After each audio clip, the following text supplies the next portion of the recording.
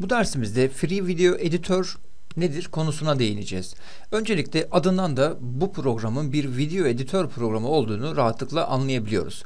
Bu program herhangi bir klip oluşturmak, videoyu resize etmek, boyutlarını değiştirmek, aynı zamanda kesmek, birleştirmek gibi birçok işlemi rahatlıkla yerine getirebiliyor. Aynı zamanda en büyük özelliği %100 olarak free olması yani ücretsiz olarak kullanılabiliyor olması. Hemen Sayfanın içerisinde freevideoeditor.info adresine girdikten sonra alt bölümde rahatlıkla e, bazı özelliklerini görebiliyoruz.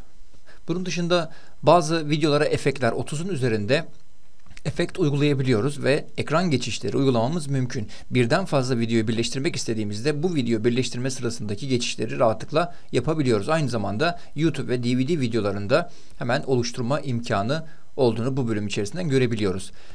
Sadece videolarda değil ses dosyalarını da desteklediğini ve import olarak ekranda görünen import e, ses formatlarını aynı zamanda AVI, MEPEG, e, MPG ve MPEG, MEPEG dosyalarını MKV gibi e, HD kalitede e, kullanabileceğimiz ve MEPEG 4 gibi 3 GP ve daha fazlasını burada desteklediğini rahatlıkla görebiliyoruz. Yani video editleme konusunda ihtiyacınız varsa basit anlamda kişisel kullanımda video düzenleme işlemini yapmak istiyorsanız video editör sizin ihtiyacınızı görecek bir programdır.